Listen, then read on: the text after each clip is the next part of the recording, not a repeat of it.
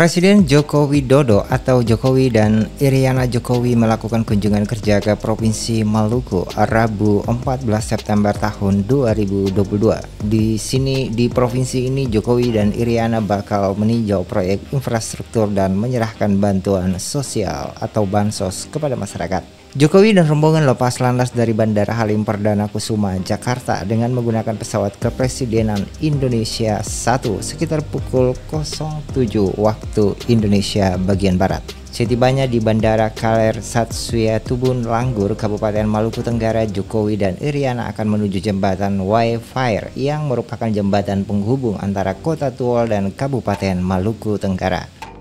Selanjutnya Jokowi akan menyerahkan bantuan sosial berupa BLT bahan bakar minyak dan sembako kepada masyarakat penerima manfaat di kantor pos Kota Tual.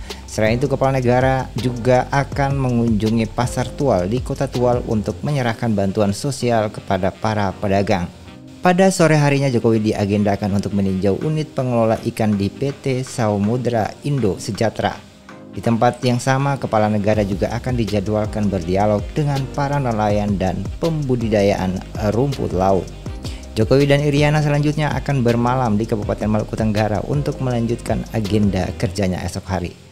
Turut mendampingi Jokowi dan Iriana dalam kunjungan kerjanya di antara lain Menteri Pertahanan Prabowo Subianto, Menteri Pekerjaan Umum dan Perumahan Rakyat PUPR Basuki Hadi Muljono, Kepala Sekretariat Presiden Heru Budi Hartono, Sekretaris Mili Sekretaris Militer Presiden Laksa TNI Harsan dan Komandan Pas Pampers TNI Wahyu Hidayat Sujat Miko.